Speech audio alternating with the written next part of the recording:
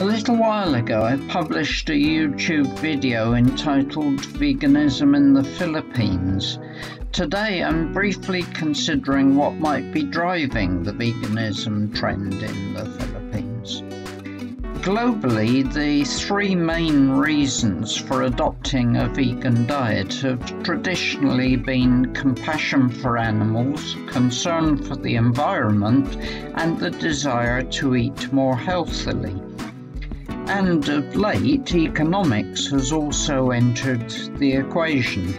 See my recent video on the co op's reduction in the price of vegan food.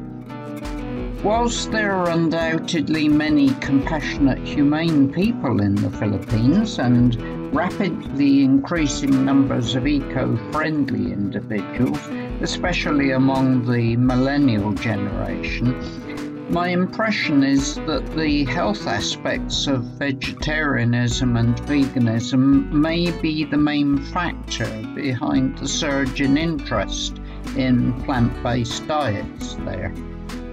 I've been drawn to this conclusion by the recent appearance of various eateries that emphasize healthiness in promoting their vegan food offerings. The Filipino word for healthy is himsog, and more than one food establishment has used that term as its business name.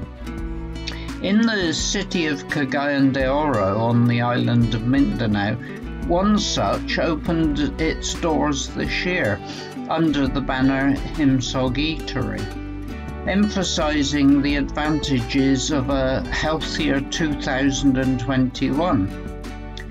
Established by the son of Dina, owner of Dina's Food House, along with several of his friends, the eatery came to my attention as a result of a vlog published a few months ago by Kyle Jennerman Kulas on his YouTube channel Becoming Filipino. At the junction of 10th and 14th Streets, Himsog describes itself as the healthy eatery, and its story, mission, and vision all emphasize the health angle.